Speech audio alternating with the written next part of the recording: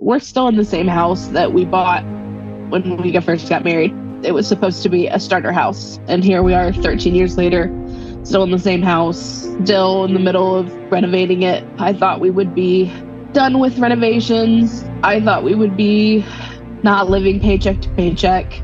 We couldn't save a thousand dollars, which is pathetic, but we needed the money. I would save a hundred dollars and something would come up or $50 and something else would come up again. We could never get past that step. I've failed our,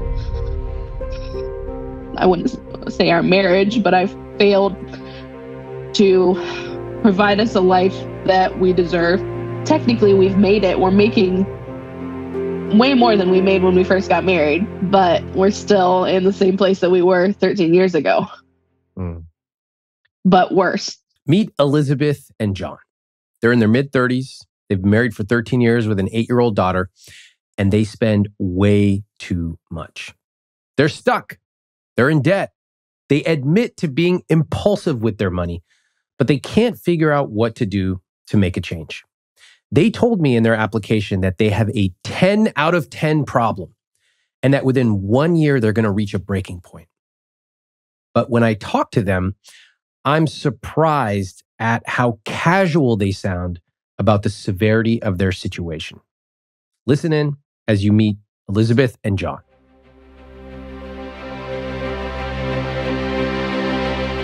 For me, Christmas is a huge thing. We're huge on giving gifts. Uh, we're huge on family. We're huge on food.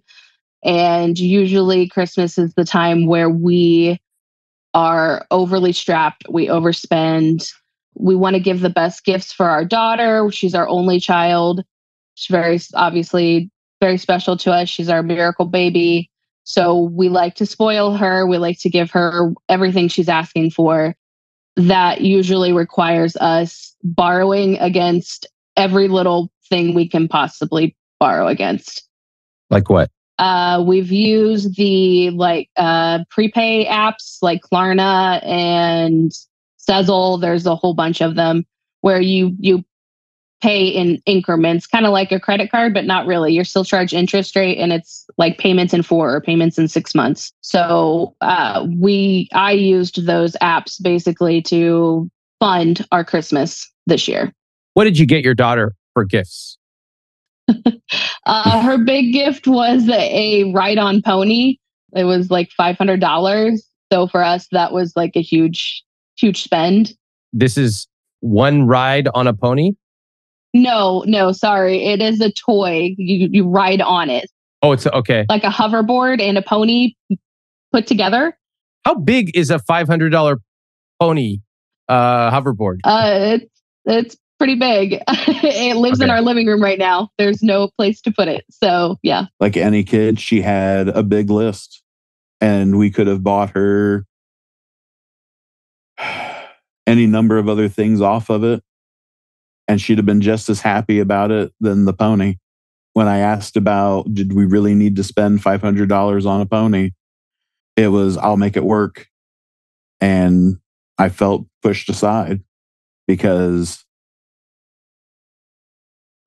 what I said just didn't seem to matter. How did you decide the financial part of that purchase? Did you say, oh, this is how much we can afford? Or was it more like she wants this? And so we're going to find a way to get her that? Uh, more that. Yes. More, I will find a way. I will make it work. How did you make it work? By borrowing against money that I didn't have. Mm. Yeah. Once January rolled around, the payments started coming in. And once those payments started hitting, I realized we couldn't afford those payments utilities, house payments, car payments, all of that in one month. Mm-hmm. So then I have a nice little system where I, you know, I'll pay this this month, not that, and then catch up when I can, wherever I can save a few bucks. So I have this wonderful, I'll show you, um, little diary that mm-hmm. I write everything down within a two week period that our paycheck covers, the bills that mm-hmm. are due within those two weeks and I just keep track. And hopefully, by the, you know, right now we're two hundred dollars away from paying off Christmas, and it's February If you were to describe how that notepad makes you feel, what words would you use? Oh, anxious for sure. Um, sad because I have to use it. I would say doubly sad because it's been going on for so long. We started this when we got married and I haven't seen the end of it. Like I thought this was kind of be a a stopgap for when we started making more money, you know, because when we first got married, we were dirt poor. We were making minimum wage. We had just bought a house. We just paid for the wedding out of pocket. Um, between the two of us, making no money. We couldn't afford to go on a honeymoon. We couldn't afford to take vacation days. You know, married young and and poor. So I thought for surely by the time we get to, you know, our 30s, things would be great. And obviously it's continued on and on. And here we are, you know, in our late 30s. It's the same process. Um, John, what do you think hearing Elizabeth describe the notebook and how she manages one account to another every single month? It's it's a bit chaotic to me.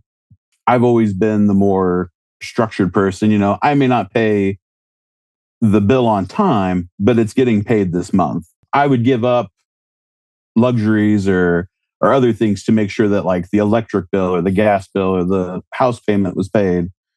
It makes me sad to see how how much that book just beats her down because there's times in the book where it'll look like we're to we're to finally start to outpace it and get ahead but then life in its funny way, you know, comes up and kicks dirt in your eye. And, you know, we've gotten just about there to start outpacing it. And then we fall back into where we were at and fall right back into the rut.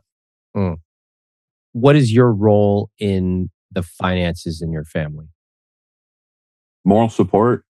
I, I started out with being the one paying the bills because of the way that I handled money. Our spending tendencies started to get away from us and it started to frustrate me. And so we started to split the bills. We started to fall into the position then where we would get paid and one of us would pay all of our bills because we got paid but then the other person didn't have money to pay their bills that were due because we weren't we weren't really talking about who needed to pay what and when. Our communication was just non-existent about what needed to be paid when. Elizabeth said you know i'll take it all. Just give it to me. I will start doing it. And that's when the book started. 10 12 years ago? Is that correct? Yeah. Yeah probably about yeah. 10 12 years ago. I'd ask questions. If if we were going to go do something i would say you know hey are you sure we have money to go do this? What would she say? The phrase that I feared the most I'll make it work. He doesn't see the numbers every day. Like I wake up and check everything every day. Mm-hmm. I'll make it work. Uh-huh. And when did you stop asking that question, John? I never stopped asking. Did you ask it about the pony? Oh, yeah. Okay. What'd she say? I'll make it work. Is she making it work? Are you making it work? Uh, we're still here, but no. The big clue here is a lot of chaos. Chaos in the way that she manages money, chaos in the way that they make decisions about money, even physical chaos in having a huge toy pony in the middle of their living room. When you think of your money, it's very common for people to say overwhelmed or reactive both of which are trouble signs. I'd like for you to think about something in your life where you're really good at it. Might be your workouts, your cooking, your job. How would you describe yourself? Maybe confident, maybe competent, maybe calm, relaxed. When it comes to your money, think about the way that you describe yourself today and think about what you might like to describe yourself as. For me, the ideal words with money might be calm, cool, collected, present, safe, future focused, even indulgent, luxurious, and prudent. You choose. But I want you to notice what it sounds like to be in control of your money. It's not this. We'll be right back. Now, back to Elizabeth and John. I don't have any guidelines in the way that I do the finance, I guess. I don't have any guardrails. I just kind of whatever I can make work, I can make work. What do you mean make work though? It's not working. It's not working, no. But whatever I can pay with what money I have, I pay. And if I don't have the money, I borrow. So can you say that to me in a in a complete sentence? Because it's not working and it's not the money you have. So how do you decide if you're going to buy something? Complete impulse. It's I want it, I buy it. Thank you. Mm-hmm. Now we can work with that. Yep. Okay. Are you in a better or worse financial situation than when you first got married? Worse. Because? We're in debt. Mm. What was the first thing you got into debt for? A uh, house. Oh. And then car tr- or truck, I should say. I know your feelings yeah. on trucks. what, what, are my feelings on trucks? It's just an F one fifty. Oh, just an F one fifty. All right, you need it. You need that. You need that. it was used. I will use. It was used. We didn't pay full price. Yeah. Uh huh. But at the time, we probably couldn't afford the car payments anyways. But we needed a second vehicle, and that's what he picked. So. I needed the four wheel drive. Why? I work in uh, maintenance at a retirement community, and I need to be able. It was during the winter if we get like a lot of snow around here i still need to be able to get into the facility to clear the parking lot and stuff like that. He's also i will i will give him the benefit of the doubt here. He does also have to when other people are snowbound it is his responsibility to go out and pick them up. Because of his job? Because of his job yes. That it falls on the maintenance crew to collect people when they're stuck. Does the company pay for that? No uh, on company time. Yeah. But they don't pay for the vehicle. What no. if you just told them like I have a little car? What would they say? I don't know. That's a good I question. That's never really come up. it never occurred to you, right? no. No. I need to cut in here. That was a major, major clue. Did you catch it? Elizabeth and Jonathan just calmly told me that he needed a truck, which they admit he couldn't afford because he has to clean the roads and pick up stranded people at work. But it literally never occurred to them that their job should pay for this. This is very common among people who grew up poor or work in low wage industries, basically jobs where employees don't have a lot of power. The invisible script here is the job tells me what to do and I do it. That is the power dynamic. But in industries where employees have a lot of power, and among communities where there's a lot of agency. This would never happen. For example, if this interview were held in San Mateo and I were interviewing for the job, I would literally say, Well, I expect you'll be providing a work vehicle. And they would. Already, we can see how they view the world profoundly differently. There's a lot of passivity, a lot of accepting that that's just the way it is. And one of my dreams with my book and my podcast and my show is to show you that you have power to change the situation that you are in. What's the status today? When do you talk about money? I show him my my little notebook and I show him what bills we have due within that 2 weeks. I show him which ones we can afford to pay and I show him which ones are getting bumped. And what does he say? And why? And he says, usually he just says, okay. When you are going through the process of showing him, what are you really trying to accomplish there? I'm trying to engage him maybe a little more with the finances to prove that what I'm doing is correct. But no, no, he doesn't. He just says, okay. And that's usually the end of it. Can I tell you, like, I love talking about rich life and personal finance and stuff, even I would not be engaged by that. Yeah, probably not. But I did think you were pretty perceptive there about the second thing you said the idea that I'm trying to prove to him that what I'm doing is right. Yeah. Yeah. Because if you were doing it wrong, what would that mean? That I would hope that he would point it out and correct it or help give me a better idea of what to do. When was the last time he's done that? Uh, never.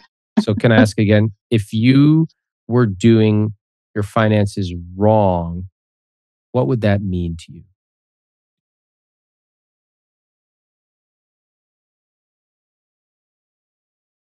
That I have that I'm responsible for putting us in the position that we are in now.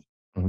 I'm the reason we're in debt. I'm the reason that we can't pay our bills because mm-hmm. it's all on me. That I've I've failed our I don't say our marriage, but I've I've failed to provide us a life that we deserve. What does that mean, deserve? you know, we bought this, we're still in the same house that we bought when we first got married. And when we bought the house, it was supposed to be a starter house. And here we are 13 years later, still in the same house, still in the middle of renovating it. None of the renovations are done. I thought we would be in a nicer place. I thought we would be done with renovations. I thought we would be not living paycheck to paycheck. Technically, we've made it. We're making way more than we made when we first got married, but we we haven't. We're still in the same place that we were 13 years ago. Mm. But worse, actually, because we're so much in debt. So it feels counter counterintuitive to, you know, what I thought we would be, where I thought we would be. Yeah. We're going to have money to be able to what? Tell me go on a vacation, a uh-huh. honeymoon. We've Good. never done that ever. Okay. What else? Tell me. Honestly, I don't think we've dreamed past vacation mm-hmm. as far as money goes because we're so in debt. I mean, I would have thought since we both started out making minimum wage and all we had to worry about was making sure the utilities were paid. We had gas in the cars and the uh, our home. We're making considerably more than we'd made then, uh-huh. but we find ourselves in the same circumstances. I wouldn't have necessarily said that we deserve to be better off, but you know, I would have hoped that we would have been in a better position to just enjoy the simpler things. There's a recurring theme on this podcast where people say what they deserve. And usually it's them describing things they want a truck, an expensive mattress, all kinds of stuff for their kids. I think you deserve to have a good education, healthcare, a safe place to live, which is why I vote for progressive politicians who want to build more housing and expand access to public education and healthcare. But too many of us have twisted the concept of deserving into random desires, which are coincidentally the very same things we see advertised all over TV and social media. Is it any wonder that American consumers love to spend the majority of their money and they have very low savings rates? Personally, I would like you to banish the word deserve from your vocabulary when it comes to money. You and I can set big, ambitious goals, but if we want something, we have to work hard for it. We have to save money. And yes, we even have to incorporate a bit of luck. And if we are lucky and if we work hard and we save money, then we can buy the truck or the trip or new clothes. In fact, I support it. I want you to. But if you begin with the idea that you deserve certain things, it's very likely that you'll find yourself in financial trouble because you'll add more and more things to that deserve category without ever focusing on the hard work and habits that actually let you comfortably afford them. One thing that I hear when you describe the situation you're in is it sounds like you both are passengers on the ride of life? It feels like it. I bet it does. Yeah. You know, you wake up, first thing you do, think about bills, go to work, maybe get the paycheck, think that's not even going to cover what we need to. Sit down every two weeks, talk about money, but it's never a positive conversation. It's never, oh, we're going to save this much or we're going to do, it's okay, we're going to pay this, but not that. And then every so often, spend a whole bunch to feel good for that yep. moment. yep. Very accurate. Very accurate. Mm-hmm. Yep. Because we're living so down on ourselves for so like, you know, weeks and weeks at a time. I feel like we need to have that that spending spree or whatever have you buy that you know pair of shoes or buy that movie or whatever to make us feel feel good to feel like we're not complete failures at life do you think you're a failure at life? It feels a little bit like it right now. Why? Just financially i feel like i've failed at providing for my family providing for my daughter. I hustle at work a lot to try and, you know, hustle my way up the corporate ladder to try and make up for my lack of financial sense, I guess you mm-hmm. call it. I try and do um, a lot of side hustles. I fail at them, but I try. But I feel like it's my responsibility to fix it. Her work allows her to do, do overtime I mean, they're constantly busy. Even if I could do overtime, she's usually doing overtime. So our daughter dances. So I take her to a lot of her dance stuff and I try and help help around the house, make sure it stays picked up and dinner gets made and everybody gets to eat. And okay. with my maintenance background, I fix things around the house. All right. Well, that's valuable. Right. It is. It, it is 100%. All right. So that's why I took on, you know, the financial financial side of it. He has his value in, you know, the household things, and I try and use, you know, my position to do what I can to help with the finances. But well, I will say I have tried to make changes. It's not that I'm not aware that it, we're not working, that it's not working. I'm very aware of it. I'm very conscious of it. It is more so that I've tried many different things and I always come back to the notebook. What else have you tried? The Dave Ramsey, we've done tried that. That didn't work. Why not? I we couldn't get past the first step. We couldn't save a thousand dollars, which is pathetic, but we couldn't save a thousand dollars. Hold on, hold on, hold on. Let's step one save a thousand dollars. What happened? Yeah. We needed the money. I would save a hundred dollars and something would come up and the money would be needed for something $20 or $50 and something else would come up again. We could never get past that step because I couldn't save more than, you know, a hundred bucks, if that. What does that tell you? that we're spending too much. John, what do you think? Why do you think we couldn't save a hundred bucks? We couldn't say no to things. Yeah. It didn't matter whether it was something we wanted or need needed. We mm-hmm. couldn't say no. Mm-hmm. And we would spend the hundred dollars. The way you describe your situation is something is always happening to you. It's coming at you, a bill, an expense. But yeah. when I dig down into it, it a, a lot of it, maybe not all of it, but a lot of it is we couldn't say no. We couldn't change our own behavior. It's not the world. The world is going to always throw things your way. Right. We couldn't change our behavior. Yeah. You notice that? Yes, unfortunately, yes. I have a lot of sympathy for people who overspend. And it can sound infuriating to others to hear people overspending when they're in obvious financial trouble. But one of the reasons I started this podcast was that I want you to hear the stories underneath the spending.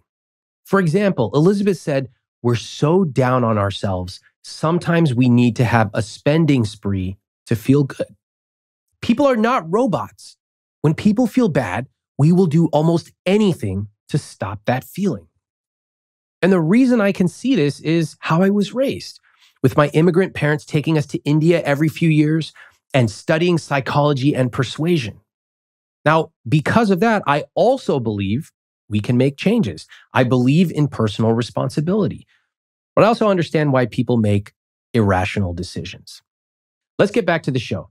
I suspected part of their behavior came from how they grew up. So I asked Elizabeth to tell me about her childhood. I grew up in a very conservative Christian family, and I was. I rebelled against a lot of the things and uh, didn't end well for me a lot of the times. So I, I always felt out of control in my life. Mm-hmm. Like I didn't have control over anything. So obviously, as soon as I went to college, I immediately got a credit card and, you know, lost control of finances. And you said it didn't go well for you. No, I was constantly in trouble, uh, constantly grounded, constantly pushing back, constantly fighting, constantly being shamed mm. for everything. I hate Sorry. that. It's okay. Let's take take as much time as you need today. We have plenty of time.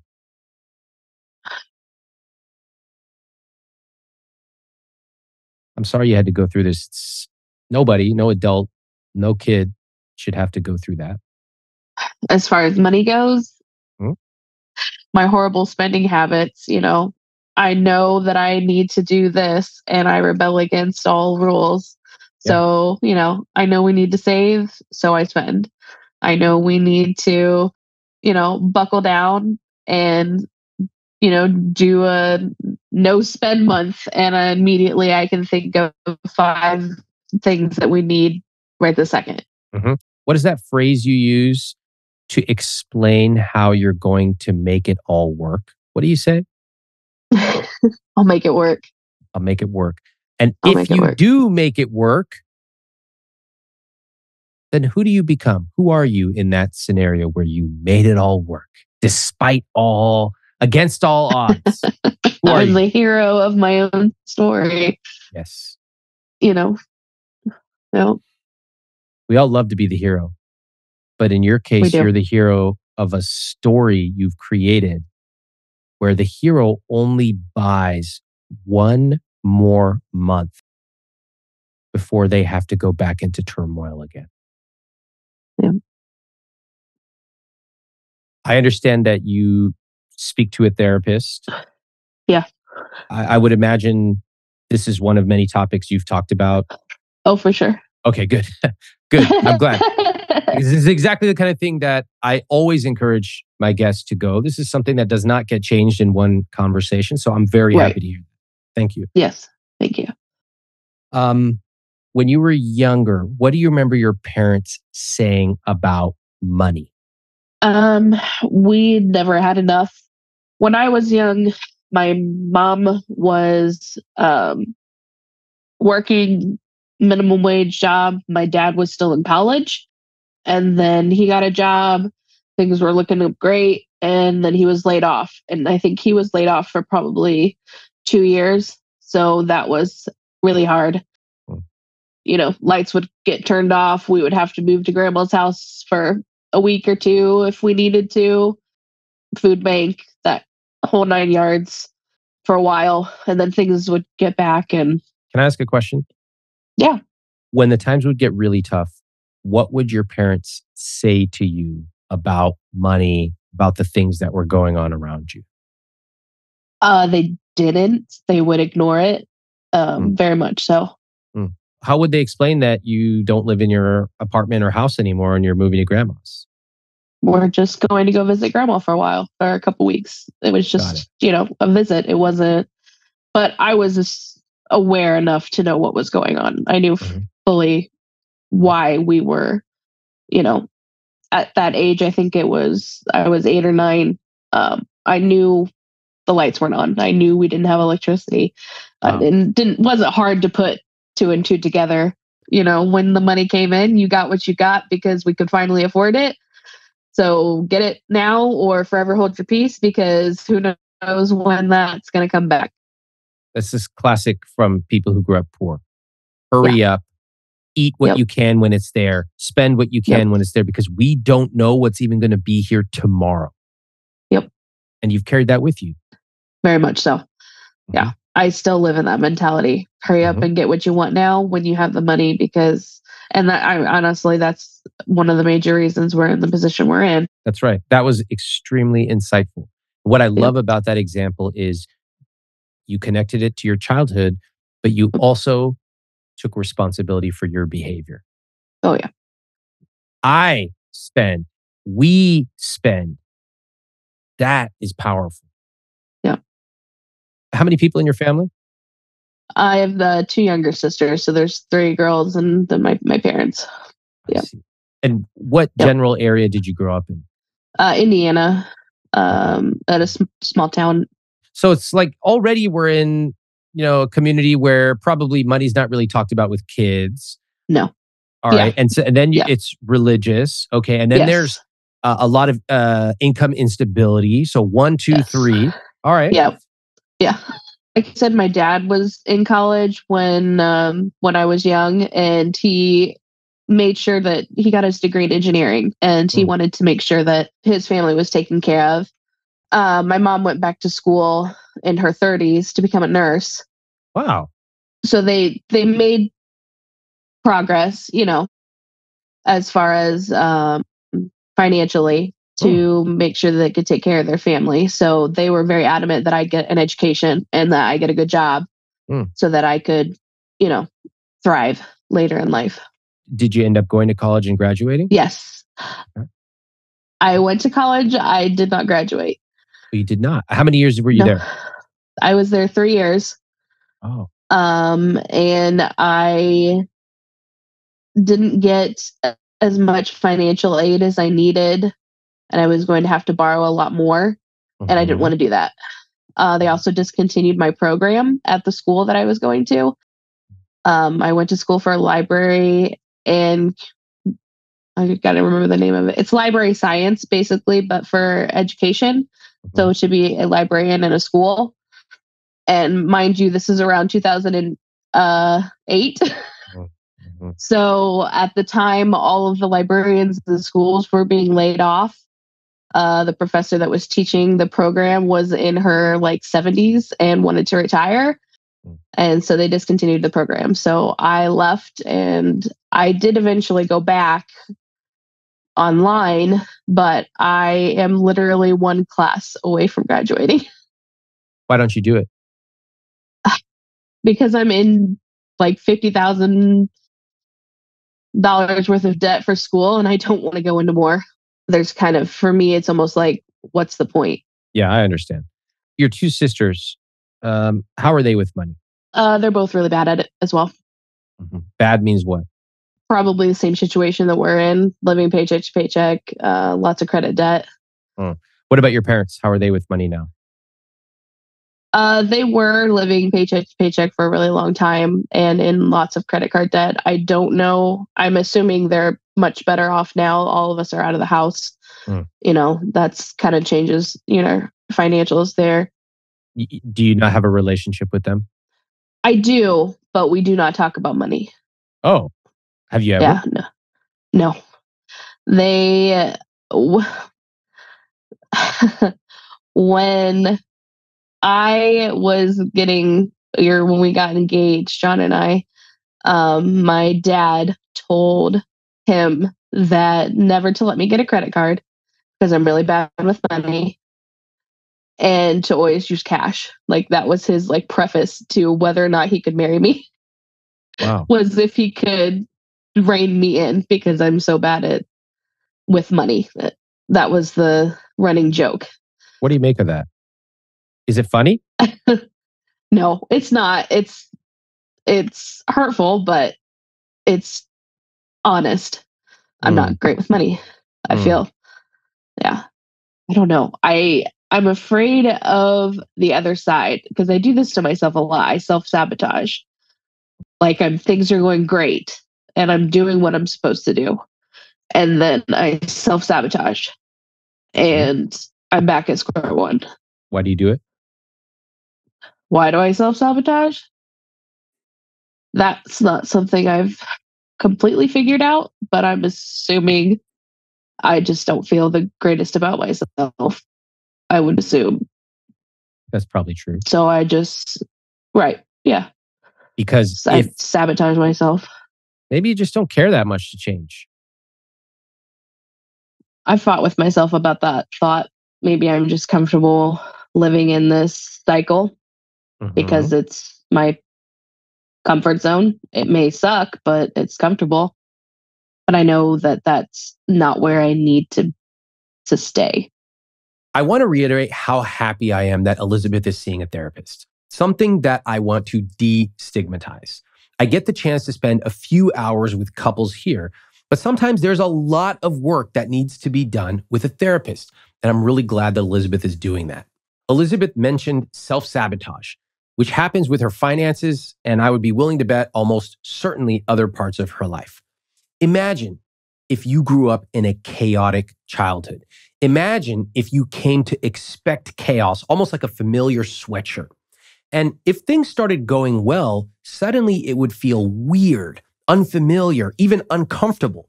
And what do a lot of people do in that situation? They self sabotage. They're used to a lifetime of chaos, or when it relates to money, money scarcity. And so when they finally see money in their savings account, they quickly spend it because who knows if it'll be here tomorrow. Chaos. You can see how deep this goes. We'll be right back. Now listen to Jonathan describe his childhood. Well, growing up, you weren't allowed to have a job. Your job was the farm, going to school. I was born and raised on a farm. Midwest, right? Yep, Indiana. Okay. Mm-hmm. Yep. Mm-hmm. There was always something to do on the farm. Mm-hmm. Um, my dad worked and still to this day works 12 to 14 hours days. And I mean, he just, he's a workhorse. When we would have the weekends to do stuff, we would, I mean, that was the time that we got stuff done on the farm with my dad. And we also took care of my grandparents' farm further north. So we would go up there on Sundays and do farm stuff up there. Um, they had an old wood burning furnace. So in the wintertime, we'd go up there and we'd chop trees wow. for an entire Sunday. Did you like it looking back? I enjoyed it. Yeah. Yeah. Just, it was just time spent with my, with my dad and that.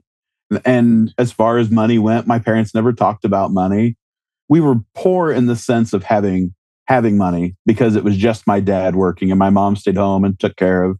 I have four siblings. Mm-hmm. and at some point in time she ended up going back to work. She was a medical transcriptionist. Mm-hmm. but i mean you know as kids you ask for things and it was constantly no. What did they say after that? We can't afford it. You're just not getting it. Oh okay. It was just it was just a hard no. We we were poor, mm-hmm. but we could still there was still food on the table. We still had clothes. We had roof over our head. I mean, my parents had debt. I knew. I mean, I knew they had tons of debt because they had five kids mm-hmm. to put through school to buy clothes for and and all of that. I knew. I knew we had debt, but I just I never knew how much. Did they help you with your uh, your college uh, loans? Yes. How did. much? Uh, all of them. I mean, they. Like, how much was that? Ballpark. Well, I went to a technical school. I'd say probably about $25,000 maybe. All right. So, like, let's just assume that all, all your siblings were the same ballpark. That's $125,000 in debt. Mm-hmm. Your elderly parents have helped out yep. with and are helping out. That's a lot, right? Yeah. Yeah. They'll help the kids with whatever they need, no matter what. They're so giving of themselves. Um, they watch our kids for free. Uh, they provide us with meat from the farm for free. They will pay truck payments when we need truck payments paid. They will pay whatever we they'll pay for our gas if we don't have gas. To them, that's their way of showing love. Is whatever they can give of themselves, they will give. And they have given us an immense amount of just everything in in the context of you know free childcare for one is an insane financial help. If we didn't have that free childcare, we would be even worse position than we already are in yeah. because childcare is insane. Yeah, his family, his parents are just all, all about whatever they can do for family, they will do. And it's been very much of of a giant blessing for us financially as well as you know. Okay. Oh, I love hearing that. I think um, from a family perspective, they sound like lovely people. So you're yeah. you sound lucky to have them in your life. Yes. It's awesome. We are very lucky. Very lucky. I wanted to move to the present day and try to understand exactly where all of their money was going. I asked Elizabeth to give me a tour of their house. Here we are in her closet. What do you notice? It's literally just a hole in the wall, but it's jam packed. All right, go ahead and go go in tight on that. Let's look at these clothes. Describe them for us, would you? They're just clothes. I mean, mm-hmm. nothing very exciting. Mm-hmm.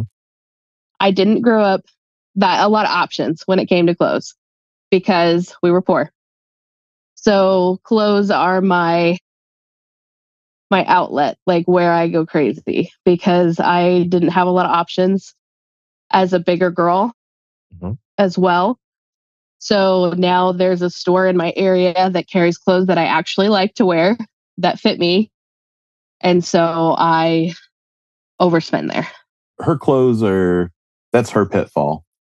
That's usually her go to. The other day, she had a Target run and she likes to shop the clearance stuff. I think it adds up faster than than she realizes at times. Uh, generally, if if we have to do grocery shopping of any kind or have to run to the store, I do it because I go in, get what we need, and walk out. If Elizabeth goes in she thinks of 50 other things that we could use, but we don't necessarily need in the moment. Or she runs across something that she likes that we don't need, but it's grabbed her attention enough to want it and gets it. What do you think about that, Elizabeth? Uh, it's accurate. I do like the rush of, you know, finding that good deal. Um, and I do like to buy clothes for my daughter. That's probably where the other big portion of it is clothes for my, my daughter. what do you think that that's cost you? I don't mean financially. Oh, um, probably trust. My husband doesn't trust me to go to the store on my own without coming back with, you know, five other things that we didn't need but I wanted or we I wanted for the family. Mm-hmm. Mm-hmm. The way he described it sounded like he treated you like a child. Yeah, a little bit. Do you think you could change it? Yes, I have tried to change it in the past. I do try to Sorry, not could you try to change it? Could you change it? Yes, I could change it. If you keep going the way you've been going with your finances, where do you end up? Two year, a year from now, two years, five years from now? In the same position and or worse than we are now. You have a house, you have a roof. I think I saw a TV, piano, got mm-hmm. a kids' toys and clothes. What's mm-hmm. so bad mm-hmm. about that?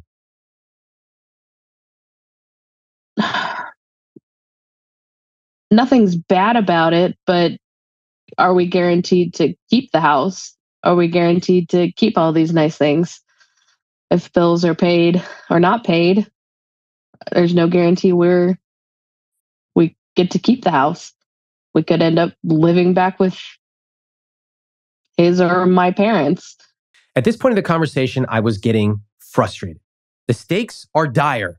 There are bad habits, deep family histories, a daughter who's being spoiled, debt. And even with all this, I was getting very little engagement from them. And remember, they called me. Do you both realize that you cannot get out of this with just one of you doing it? Yeah. Yeah. Because if you did, both of you would be engaged in this conversation. John, you'd be asking me questions. The two of you would be talking back and forth. What's up with the dynamic here? I'm curious.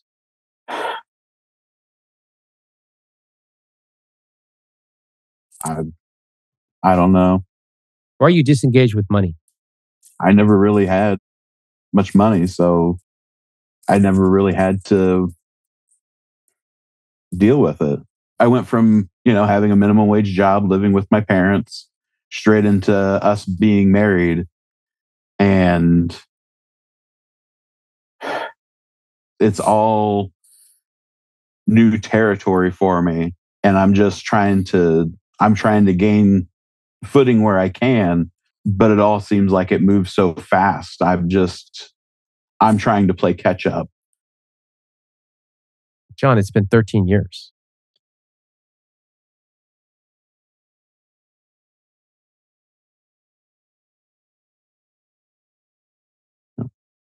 And I was disengaged for for most of them.